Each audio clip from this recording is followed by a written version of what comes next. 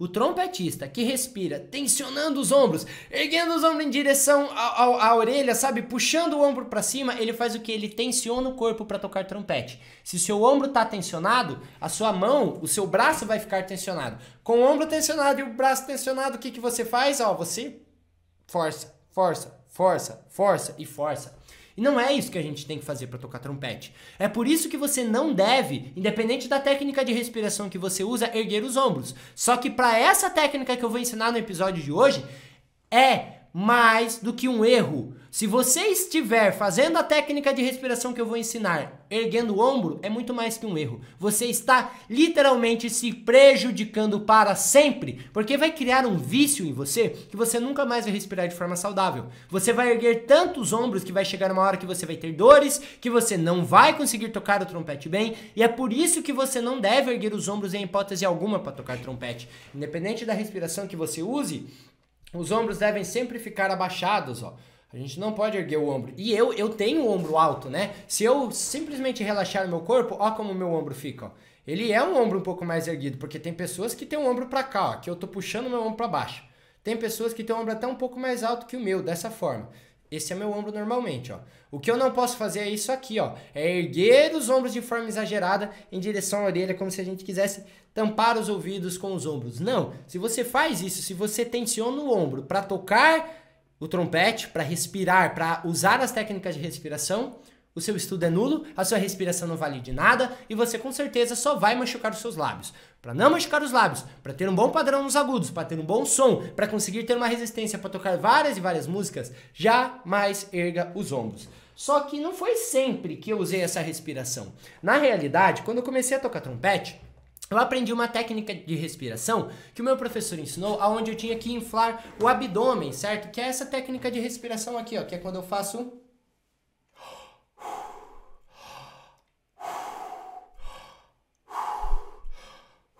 Só que o que acontece? Essa técnica de respiração com o abdômen não usa o corpo inteiro. E por não usar o corpo inteiro, eu não conseguia comprimir o meu ar dentro do corpo. Eu não tinha um bom controle da compressão do ar dentro do corpo. E o que acontecia? Eu precisava forçar para tocar trompete. Então, quando eu comecei a conhecer essa técnica de respiração, eu comecei a ver que quando eu usava ela, eu não fazia esforço nenhum para tocar trompete. Muitas vezes eu ia tocar uma nota pianinho e eu forçava tanto com a respiração é, de abdômen que a nota não saía. Só que quando eu respirava com o corpo inteiro, quando eu aplicava a técnica que eu vou ensinar para vocês, eu conseguia tocar o pianinho, sabe, tocar com o volume bem baixinho lá na região aguda de uma forma muito tranquila. Eu conseguia controlar as notas agudas de uma forma muito mais de boa. E eu jamais conseguiria fazer isso aqui, ó,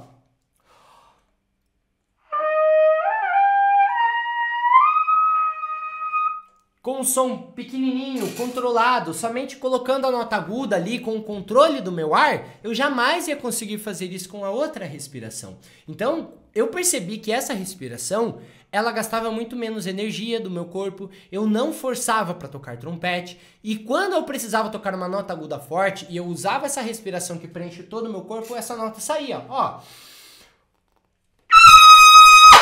Sabe, é uma coisa de controle do nosso ar que faz com que a gente atinja as notas agudas com uma facilidade tremenda, sem precisar machucar os lábios. Só que isso não foi algo que veio da noite pro dia. Eu tive que estudar, eu tive que buscar informações. E eu, quando eu percebi que essa técnica de respiração era que eu deveria levar para minha vida, o meu nível de trompete começou a fazer assim, ó. Porque o meu sonho era tocar primeiro trompete. O meu sonho era conseguir solar, tocar na região aguda. Hoje em dia eu consigo fazer isso com muita facilidade. Por quê? Porque eu sei respirar da maneira correta.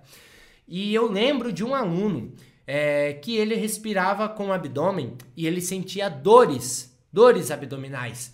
E um dia ele foi no médico e o médico disse que ele estava começando a ter um problema de hérnia de disco. Ou seja, um aluno super estudioso que tinha facilidade com trompete, ele respirava sem usar a capacidade máxima do corpo. Ele respirava só com o abdômen, só com a parte baixa. E isso começou a trazer prejuízos gigantes. Ele começou a forçar tanto o trompete que a hora que ele percebeu, ele já estava tendo dores no abdômen de tanto forçar o trompete contra os lábios e para aliviar essa força forçar o abdômen. E aí, com essa balança desequilibrada, ele quase desenvolveu uma hérnia de disco. Ele quase teve um problema de saúde grave porque ele não respirava com o corpo inteiro. Quando eu passei essa técnica da respiração, é, é, que a gente usa todo o nosso corpo, né, dessa respiração total, quando a gente usa a técnica de respiração to total, né, que é a técnica que faz a gente tocar as notas agudas, quando eu passei essa técnica para esse meu aluno, foi bizarro. No mesmo dia, ele era um aluno que não tocava mais do que a nota Dó 5 ali, que seria essa nota aguda aqui, ó. Quando ele foi tocar e ele usou essa respiração total, usando todas as ferramentas do corpo, foi até bizarro, porque ele tentou tocar essa nota Dó e saiu uma nota Mi. Ó, aqui eu, eu nem precisei encher o meu corpo completamente de ar, mas só de eu ter colocado o ar desde lá de baixo para cima eu já atingi essa nota com muita facilidade, ó. E ó, o ombro baixo. De novo. Então, para a gente tocar as notas agudas, a gente precisa conhecer as técnicas de respiração. E quando esse aluno meu conheceu a técnica necessária para tocar as notas agudas, no mesmo momento ele conseguiu tocar uma nota que ele nunca havia tocado. Ele tocava até a nota do agudo e do nada ele conseguiu tocar a nota mi, simplesmente usando essa técnica de respiração.